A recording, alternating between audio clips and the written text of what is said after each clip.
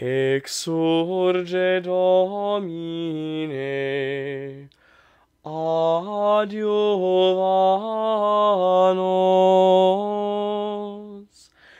et liberanos, propter nomen Deus auribus nostris audivimus. Patres nostri annuncia verunt nobis.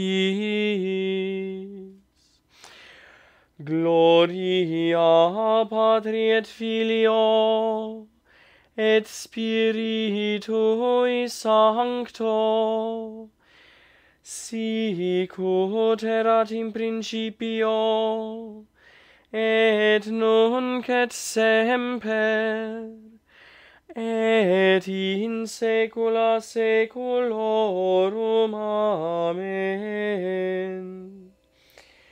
Exurge domine adiuvam